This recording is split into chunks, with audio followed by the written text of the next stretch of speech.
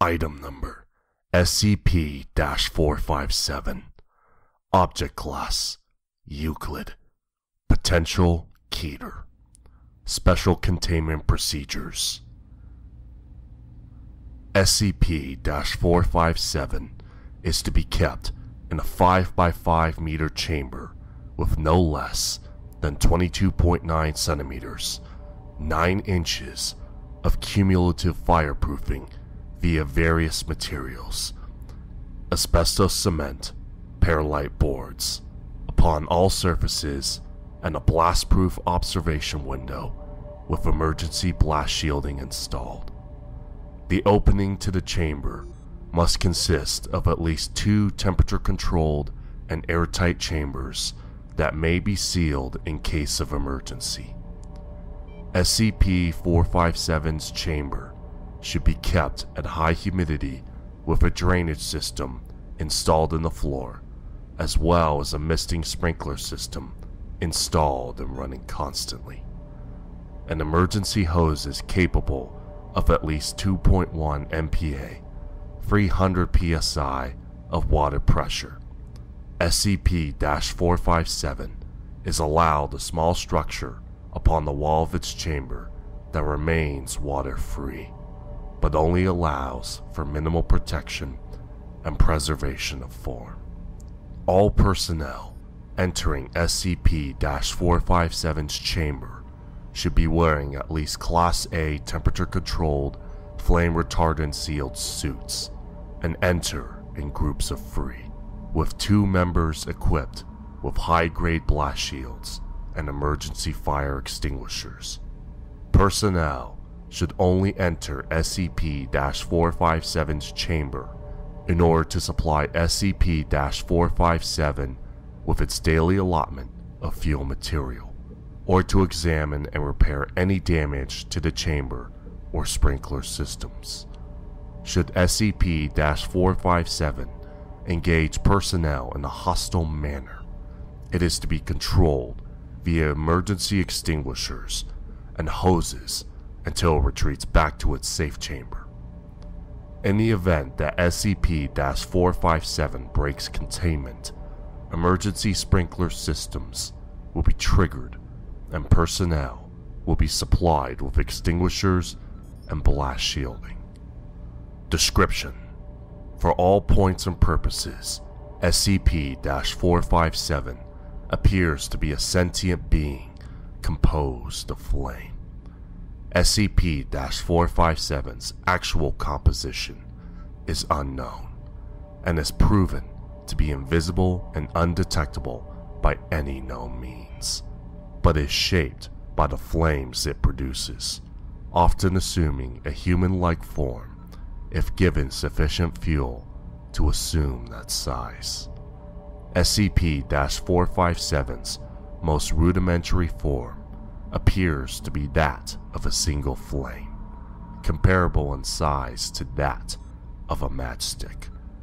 In this form, SCP 457 possesses only the simplest of directives and shows no signs of being unusual compared to any other flame beyond a penchant for a sudden flickering to burn human hands and the ability to jump to more flammable materials or other flames, which it then assimilates into its total form. As SCP 457 grows larger, it is able to assume more complex shapes, and its intelligence grows with size and fuel sources.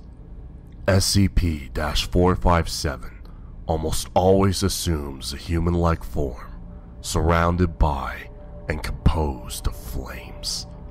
SCP 457 has been observed to communicate through writing letters out of its own flames, charring them onto the wall or other surfaces, and more rarely through speech, created via high pressure, superheated air and the crackling of pops of flames. Once SCP 457 reaches an unknown threshold of size and fuel source, SCP 457 splits into two beings, and so on, so forth. However, multiple beings of SCP 457 are aggressive towards each other and will either attempt to consume or extinguish their doubles, especially if there is only a limited amount of fuel at hand. SCP 457's behavior is largely predictable, as its goals are simply to acquire larger sources of fuel and to spread. The danger of SCP 457 comes from its ability to increase intelligence with size, an apparent ability to learn and mimic behaviors. This has led to it purposefully damaging and sabotaging sprinkler systems, and, in rare circumstances, set up relatively complex traps. It has also attempted to trick or reason with personnel to be released or have access to more fuel. Due to SCP 457's unique composition, variable intelligence, and uncooperative nature, its psychology may not be accurately determined in accordance with any human analogy. SCP 457 was recovered in, in the summer of 2007 after multiple wildfires were attributed to it. It is unknown where or how SCP 457 initially formed. Investigation into the potential of SCP 457 being responsible for other major fires is underway.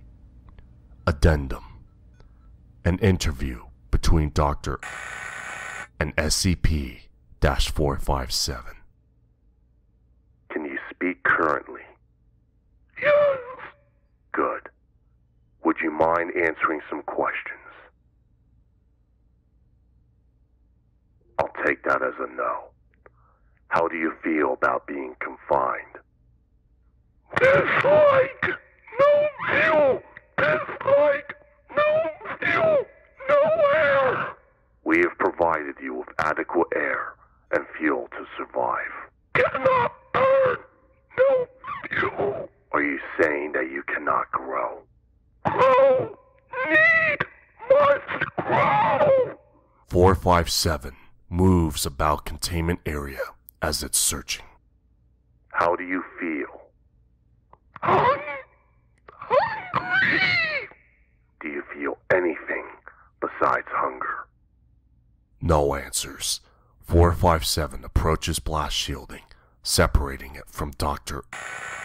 How do you feel about humans?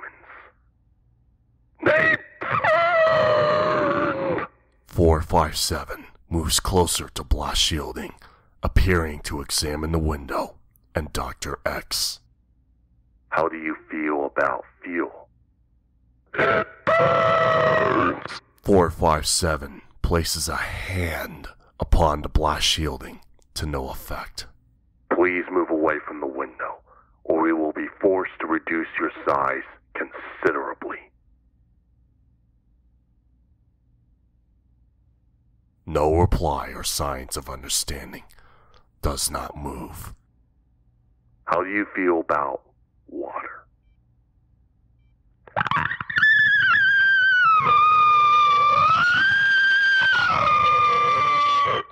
Please move away from the window, or we will be forced to turn the sprinklers back on.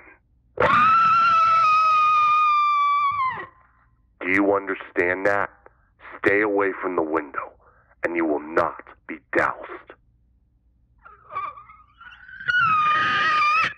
Do you understand? What view? What air? What burn? Want to burn? Want to burn? Want to burn?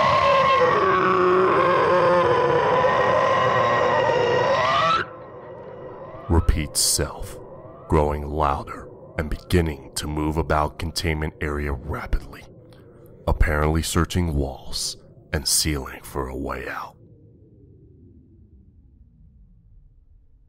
There is no way out. If you would please, what is it you're doing? Is it looking for a way out? At this point in the interview, SCP 457 managed to severely damage much of the sprinkler system and destroy a portion of the fuel injector that has been sustaining its intelligent form, giving it free access to several gallons of gasoline.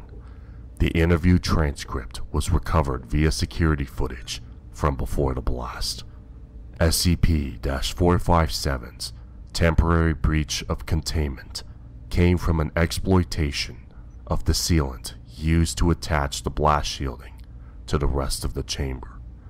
How SCP 457 managed to learn of and exploit this weakness is unknown, and it has been since moved to a higher security chamber. Addendum 2 Due to excessive resource requirements in keeping SCP 457 contained, locating a permanent renewable fuel source is currently a high priority.